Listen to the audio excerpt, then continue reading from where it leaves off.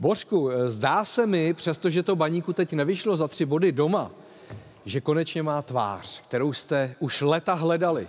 Začal bych hokejovým, tak určitě. Eh, Samozřejmě po tom hruzostrašném začátku sezony jsem si říkal, no, tak je to tady zase tradiční ztracená sezóna.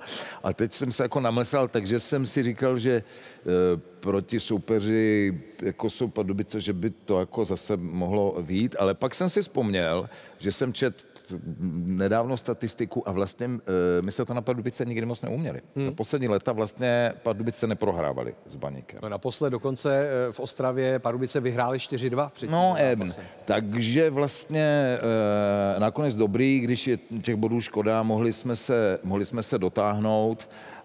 Pan trenér e, kluky chválil, že druhá půlka byla jako super, ale když jsem u těch statistik, sice poměr střel bylo 27 ku 5 pro Baník, ale z těch 27 bylo 6 na bránu, takže vlastně 6 ku 5, takže ten výsledek tomu vlastně jako odpovídá. No. Hmm. Já jsem se díval jenom na počítači, protože jsem hrál v představení v divadle a odbíval se, odbíhal jsem z toho, jeviště, z toho jeviště do, do šatny se dívat a myslím, že to byl Kubala, kdo dal tu, nedal tu Nedal tu minelu. obrovskou šanci. Tak eh, jsem se tak rozčílil, že to nechtíc odnesl kolegův uh, mobilní telefon a já vlastně nevím, co on to tam, proč to tam takhle... A Pavel říká, nohou- že to je těžký. No já vím, ale teď, hele, to... já- To, to promiň, ale to kdyby, kdyby pindourem, tak to tam bylo, že to, já nevím, Ne, proč tam tu to- nožičku takhle... To jako- nevím, No. to nevím.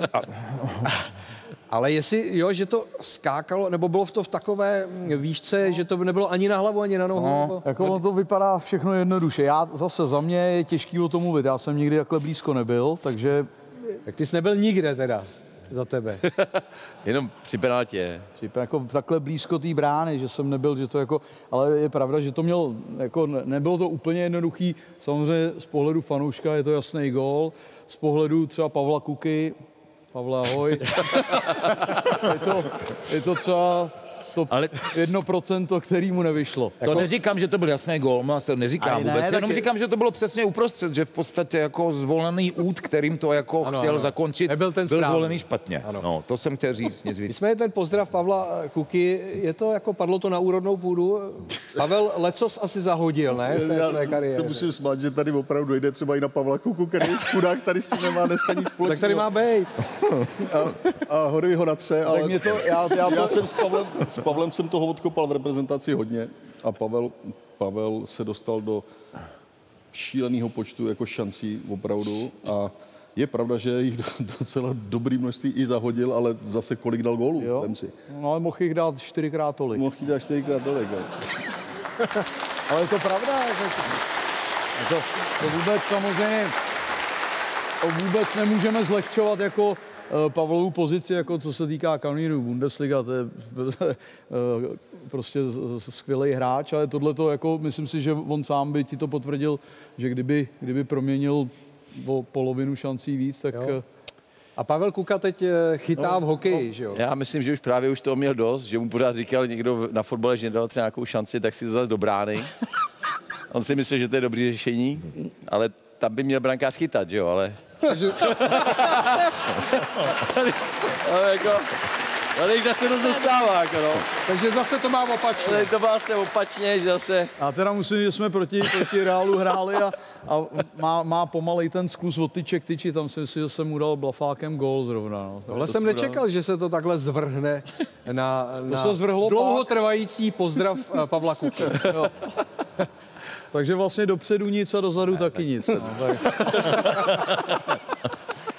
Terko, když se bavíme o baníku, mně přijde líto teď jako vůči vám atletům, protože baník má atletickou dráhu. To je ten stadion ve Vítkovicích, kde se koná i Zlatá tretra, že jo? obrovský meeting světového významu, že když se řekne, no jo, ono to má atletickou dráhu, že to je něco jako, jako fuj. Padlivýho. No, z hlediska fotbalu.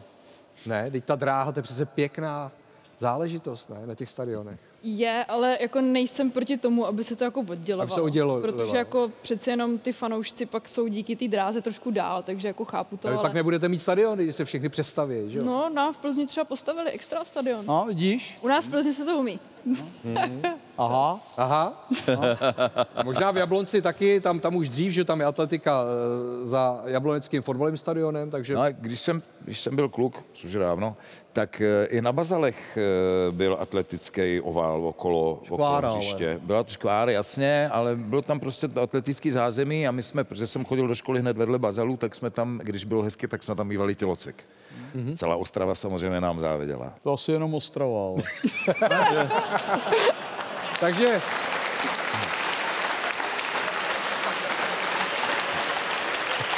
takže Pavel Horvát, že v té době se v Plzni fotbal nehrál, samozřejmě nemohli Pavel. Pavel no. Horvát teď nesmí tak tři roky potkat Pavla Kuku. A nesmí do, do Ostravy. Nesmí do Ostravy, Kdo bude další? Pavle, Já nevím, nic, už hraje dál. hrajeme dál. Líbí se vám tahle ukázka z Tiki Taka?